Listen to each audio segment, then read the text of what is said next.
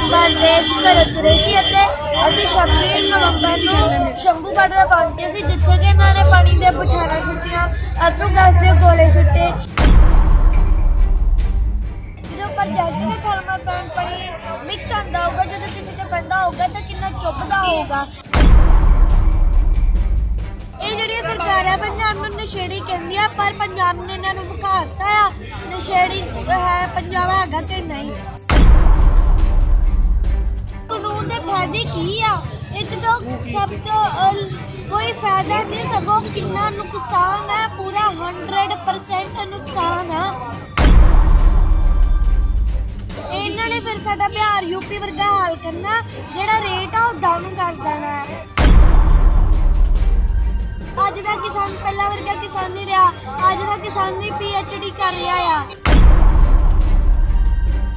ਉਹ ਰੱਬ ਜਿਹੜਾ ਆ ਉਹ ਭਖਾਰੀ ਨੂੰ ਰਾਜਾ ਬਣਾ ਸਕਦਾ ਆ ਤੇ ਰੱਬ ਜਿਹੜਾ ਰਾਜੇ ਨੂੰ ਭਖਾਰੀ ਵੀ ਬਣਾ ਸਕਦਾ। ਕਿੱਥੋਂ ਆਏ ਹੋ? ਮੈਂ ਇੱਥੋਂ ਕੱਢ ਕੇ ਬੱਚੇ ਲੈ ਆਓ। ਤਹਿਸੀਲ ਦਸਵਾ ਪਿੰਡ ਵਾਂਗੂ ਤੋਂ। ਤੇ ਅਸੀਂ ਜੋ ਹੈ 25 ਨਵੰਬਰ ਦੇਸ਼ ਘਰੋਂ ਤੁਰੇ ਸੀ ਅਤੇ ਅਸੀਂ 26 ਨਵੰਬਰ ਨੂੰ ਸ਼ੰਭੂ ਬਾਰਡਰ ਪਹੁੰਚੇ ਸੀ, ਜਿੱਥੇ ਕਿ ਇਹਨਾਂ ਨੇ ਪਾਣੀ ਦੇ ਬੁਛਾਰਾਂ ਛੁੱਟੀਆਂ, ਅਥਰੂ ਗੈਸ ਦੇ ਗੋਲੇ ਸੁੱਟੇ। ਇਹਨਾਂ ਨੇ ਜਿਹੜੀ ਪਾਣੀ ਦੀ ਬੁਛਾਰ ਪਾਉਂਦੇ ਸੀ, ਇਹਨਾਂ ਨੇ ਨਾ ਘੱਗਰ ਦੇ ਨਾਲੇ 'ਚ ਪੈਰ ਛੁੱਟੀ ਸੀ ਕਿ ਪਾਣੀ ਨਾ ਮੁੱਕੇ। ਜਿਸ ਰਾਜਪੁਰੀ ਦੇ ਪ੍ਰੋਜੈਕਟ ਦਾ ਪਾਣੀ ਤੇ ਥਰਮਲ ਪਲਾਂਟ ਦਾ ਪਾਣੀ ਆ ਰਿਹਾ ਸੀ। ਤੇ ਤੁਸੀਂ ਆਪ ਸੋਚ ਸਕਦੇ ਹੋ, ਜਦੋਂ ਪ੍ਰੋਜੈਕਟ ਦੇ ਥਰਮਲ ਪਲਾਂਟ ਪਾਣੀ ਮਿਕਸ ਆਂਦਾ ਹੋਊਗਾ, ਜਦੋਂ ਕਿਸੇ ਤੇ ਪੈਂਦਾ ਹੋਊਗਾ ਤਾਂ ਕਿੰਨਾ ਚੁੱਭਦਾ ਹੋਊਗਾ। ਤੇ ਇਹਨਾਂ ਨੇ ਅਥਰੂ ਗੈਸ ਦੇ ਗੋਲੇ ਵੀ ਸੁੱਟੇ ਸੀ ਕਰ। ਤੇ ਫਿਰ ਇੱਕ ਨੌਜਵਾਨ ਬੈਰੀਕੇਡ ਤੋੜ ਤੇ ਇੱਕ ਨੌਜਵਾਨ ਵੀਰ ਦੀ ਲੱਤ ਟੁੱਟ ਗਈ ਤੇ ਫਿਰ ਕਰ ਲਿਓ। ਜਿਹੜੇ ਅ, ਇੱਕ ਦੋ ਘੰਟੇ ਵਿੱਚ ਫਿਰ ਬਹੁਤ ਅ, ਨੌਜਵਾਨ ਵੀਰਾਂ ਨੇ ਜ਼ੋਰ ਲਾ ਕੇ ਬੈਰੀਕੇਡ ਤੋੜ ਕੇ ਹਰਿਆਣੇ 'ਚ ਵੜੇ ਪਰ ਇਹ ਜਿਹੜੀਆਂ ਸਰਕਾਰਾਂ ਪੰਜਾਬ ਨੂੰ ਨਸ਼ੇੜੀ ਕਹਿੰਦੀ ਆ, ਪਰ ਪੰਜਾਬ ਨੇ ਇਹਨਾਂ ਨੂੰ ਵਿਖਾਤਾ ਆ। ਨਸ਼ੇੜੀ ਹੈ ਪੰਜਾਬ ਹੈਗਾ ਕਿ ਨਹੀਂ? ਫਿਰ ਅਸੀਂ ਜਦੋਂ ਹਰਿਆਣੇ 'ਚ ਵੜੇ ਤੇ ਇਹਨਾਂ ਨੇ ਥਾਂ ਥਾਂ ਗੱਡੇ ਖੋਤੇ ਕਿ ਇਹ ਗਾਣਾ ਜਾ ਪਣ ਤੇ ਫਿਰ ਜਿਹੜੇ ਨੌਜਵਾਨ ਵੀਰ ਸੀ, ਉਹ ਜਿਹੜਾ ਸਮਾਨ ਜਾ ਰਿਹਾ ਸੀ, ਆ ਜਾ ਰਿਹਾ ਸੀ, ਉਹ ਫਿਰ ਝੋਨੇ ਦੀਆਂ ਪੌੜੀਆਂ ਸੁੱਟੀਆਂ ਬਜਰੀ ਸੁੱਟੀਆਂ ਹੱਥਾਂ ਨਾਲ। ਉਹ ਤੇ ਬਹੁਤ ਟਾਈਮ ਲੱਗਿਆ ਤੇ, ਪਰ ਉਹਨਾਂ ਨੇ ਗੱਡੇ ਭਰ ਕੇ ਤੇ ਫਿਰ ਗਾਂ ਗਏ ਤੇ ਅਸੀਂ ਫਿਰ ਜਿਹੜੇ ਰਾਜ ਵੀ ਕਰਨਾਲ ਅਹ, ਹਰਿਆਣੇ ਚ ਵੀ ਰਾਜ ਇਹਨਾਂ ਨੇ ਕਿਤੇ ਬੜੇ ਥਾਵਾਂ ਤੇ ਬੈਰੀਕੇਡ ਲਾਏ ਸੀ।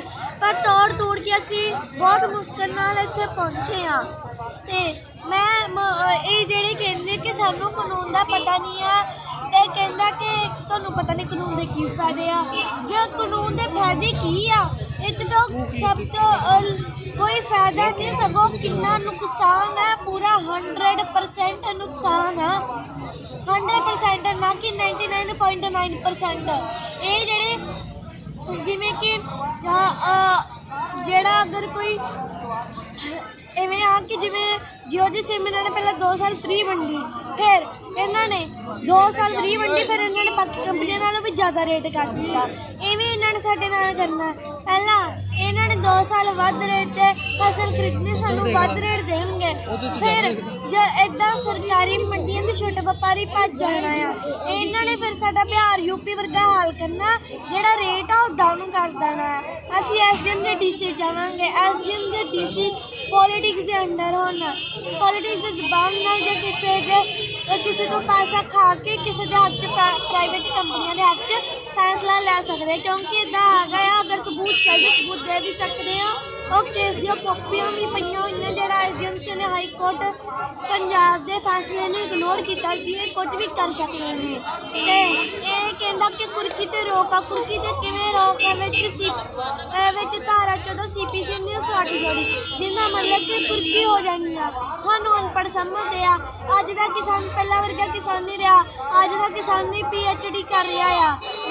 ਜਿਹੜਾ ਇਹ ਜਿਹੜੀਆਂ ਸਰਕਾਰਾਂ ਆ, ਇਹ ਅਸੀਂ ਜਿਹੜੇ ਪੰਜਾਬੀ ਕੌਮ ਆ, ਇਹ ਪੰਜਾਬੀ ਕੌਮ ਨੇ ਇਹਨਾਂ ਦੀ ਆਜ਼ਾਦੀ ਵਾਸਤੇ ਇੰਨੀਆਂ ਸ਼ਹੀਦੀਆਂ ਦਿੱਤੀਆਂ ਪਰ ਇਹ ਜਿਹੜੇ ਨਾ ਨਾ ਬਸ ਚਲੋ ਐਂ ਕਰ ਦੇਣਾ। ਪੰਜਾਬੀ ਕੌਮ ਨੇ ਇੰਨੀਆਂ ਸ਼ਹੀਦੀਆਂ ਦਿੱਤੀਆਂ ਪਰ ਇਹ ਜਿਹੜੇ ਆ ਇਹ ਸਾਨੂੰ ਇਹਨਾਂ ਨੇ ਸਾਨੂੰ ਸੜਕਾਂ ਤੇ ਰੋਲ ਦਿੱਤਾ। ਹਾਲੀ ਤੱਕ ਇਹਨਾਂ ਬਸ- ਬਸ ਕੋਈ ਨੀ, ਕੋਈ- 35 ਲੱਖ ਤੋਂ ਵਧੇਰੇ ਪੰਜਾਬੀ ਕੌਮ Right ਦਾ ਨਹੀਂ ਹੁੰਦਾ। ਪੰਜਾਬੀ ਕੌਮ ਦੇ ਬੰਦੇ ਸ਼ਹੀਦ ਹੋ ਗਏ ਇਹਨਾਂ ਦੀ ਆਜ਼ਾਦੀ ਵਾਸਤੇ।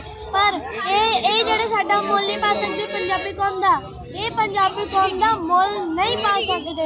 ਇਹਨਾਂ ਨੇ ਅਸਲ ਨੂੰ ਸੁਰੱਖਿਅਤ ਰੋਲ ਤੱਕ ਕਿਸਾਨ ਜਿਹੜਾ ਅੰਨ ਪੈਦਾ ਕਰਕੇ ਦਿਨ ਰਾਤ ਇੱਕ ਕਰਕੇ ਠੰਡੇ ਪਾਣੀ 'ਚ ਪੈਰ ਧਰ ਕੇ ਸੱਪਾਂ ਦੀ ਸਰੀਆਂ ਤੇ ਪੈਰ ਧਰ ਕੇ ਇਹਨਾਂ ਦੇ ਇਹਨਾਂ ਲਈ ਅੰਨ ਪੈਦਾ ਕਰਦਾ ਇਹਨਾਂ ਦੇ ਮੂੰਹਾਂ 'ਚ ਪਾਉਂਦਾ।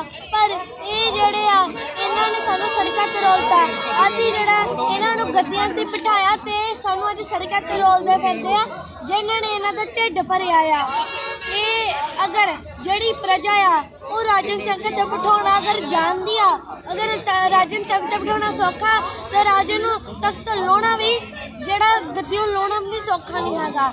ਤੇ ਇਹ ਜਿਵੇਂ ਜੇ ਰਾਜਾ ਭਖਾਰੀ ਨੂੰ ਰੱਬ ਜਿਹੜਾ ਆ, ਉਹ ਭਖਾਰੀ ਨੂੰ ਰਾਜਾ ਬਣਾ ਸਕਦਾ ਆ, ਤੇ ਰੱਬ ਜਿਹੜਾ ਰਾਜੇ ਨੂੰ ਭਖਾਰੀ ਵੀ ਬਣਾ ਸਕਦਾ ਇਹ ਆਪਣੇ ਆਪ ਨੂੰ ਉਹ ਬਾਗ ਦੇ ਮੂਲੀ ਨਾ ਸਮਝੇ, ਜਿਹੜੀ ਪੁੱਟੀ ਨਹੀਂ ਜਾ ਸਕਦੀ। ਅੱਜ ਦਾ ਇਹ ਅਸੀਂ ਸ਼ਾਂਤਮਈ ਸੰਘਰਸ਼ ਕਰ ਰਹੇ ਹਾਂ। ਆਹ ਇਤਿਹਾਸ ਦਾ ਪਹਿਲਾ ਆ, ਜਿਹੜਾ ਕਿ ਸ਼ਾਂਤਮਈ ਹੋ ਨਹੀਂ ਸਕਦਾ, ਤੇ ਮੈਂ ਮੋਦੀ ਸਰਕਾਰ ਨੂੰ ਇਹੀ ਕਹਿਣਾ ਚਾਹਾਂਗੀ ਕਿ ਕਾਨੂੰਨ ਜਿਹੜਾ ਜਲਦੀ ਤੋਂ ਜਲਦੀ ਰੱਦ ਕਰ ਦੇ, ਨਹੀਂ ਤਾਂ ਅਸੀਂ 26 ਤਰੀਕ ਨੂੰ ਜੋ ਇਹ ਪੂਰਾ ਦਿੱਲੀ ਨੂੰ ਆਲੇ ਦੁਆਲੇ ਅਸੀਂ ਰੈਲੀ ਕੱਢਾਂਗੇ। ਹੱਕ ਤੇ ਸੱਚ ਦੀ ਖਬਰ ਲਈ ਲਾਈਕ ਤੇ ਸਬਸਕ੍ਰਾਈਬ ਕਰੋ। ਪੰਜਾਬ ਦਾ number 1 digital news channel the fact news